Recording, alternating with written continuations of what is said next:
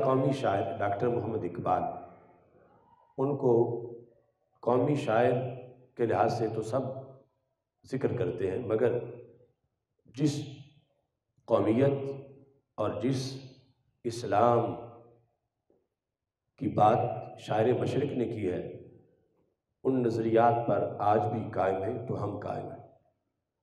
दूसरे बहुत से लोग ऐसे हैं कि जो फ़िक्र इकबाल से बगावत कर चुके हैं और वो मुख्तलफ़ रूप है जो इस वक्त हमारे पाकिस्तान के अंदर फ़िक्र इकबाल के अमला बागी हैं।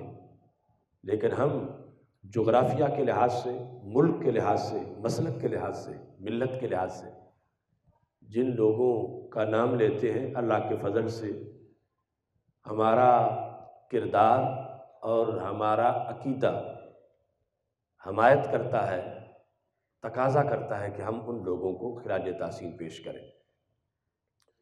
शायर मशरक़, जिनका हम आज नाम ले रहे हैं तो इसका सबब यह है कि उन्होंने दाता साहब का नाम लिया। उन्होंने दाता गंज बख्श अजवेरी को खराज तहसीन पेश किया।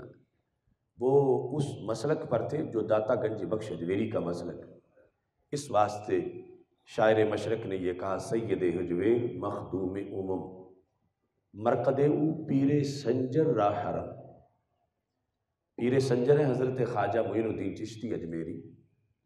तो इकबाल का ये मज़हब है मरकद ऊ पीर संजर राहरम यानी जिस जगह हज़रत दाता गंज बख्श अजमेरी रहमत मौजूद है, उस मरकद को इकबाल हरम कहते हैं। यानी वहाँ का तकद्दुस।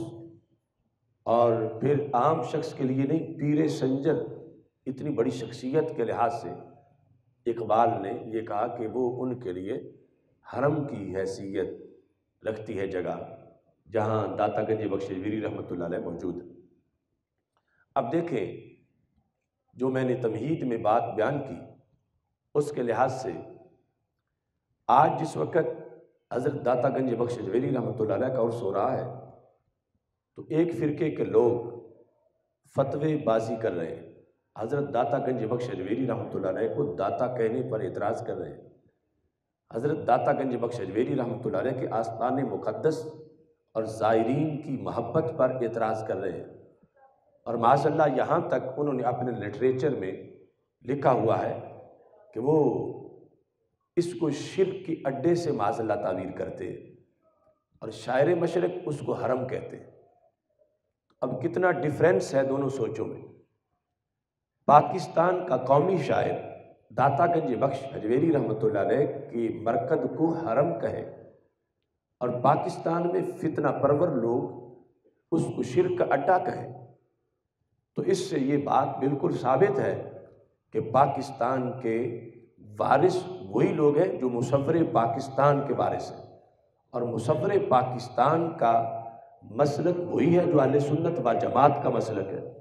इस बुनियाद पर हमारे जो अकाबिर हैं, उन में जो बरह रास्त हमारे मुहदसिन हैं अलिया कराम हैं, आइम्मा हैं, उनसे हट कर भी अगर कोई पाकिस्तान का फ़ैसला करना चाहता है तो फिर मुसवर पाकिस्तान की गवाही के मुताबिक भी पाकिस्तान हरगिज़ नजदी स्टेट नहीं बन सकती। पाकिस्तान सुन्नी स्टेट है। इस वास्ते कि इसके अफकार नज़रियात सारे के सारे आल सुन्नत व जमात के बानियान पाकिस्तान का मसलक आल सुन्नत है और यहाँ जिस फ़िका के अंदर दीन पहुँचा है, वो फ़िका फ़िक हनफी है। इस बुनियाद पर, यानी पाकिस्तान के सारे खद खाल सुन्नीत और हनफियत पर कायम है। इकबाल ने हज़रत दाता साहब को खराज तहसीन पेश करते हुए कहा, खाके पंजाब अज दमे ऊ ज़िंदा गश्त कि पंजाब की मट्टी उनके दम से ज़िंदा हो गई। तो जिनके आने से पंजाब की मट्टी ज़िंदा हुई, वो कितनी बड़ी ज़िंदगी का नाम। सुबह मा अज मेहर ऊ ताबिंदा गश्त। तो इकबाल कहते हैं कि जो हमारी सुबह है, ये जिस सूरज से चमक रही है, उस सूरज का नाम दाता गंज बख्श अजवेरी रहमत तो इन इतना बड़ा किरदार है सैदना दाता गंजी बख्श अजवेरी रहमत का, और फिर हम फ़िक्र इकबाल को इसलिए सलाम करते हैं कि फ़िक्र इकबाल, फ़िक्र दाता गंज बख्श को सलाम करने वाले।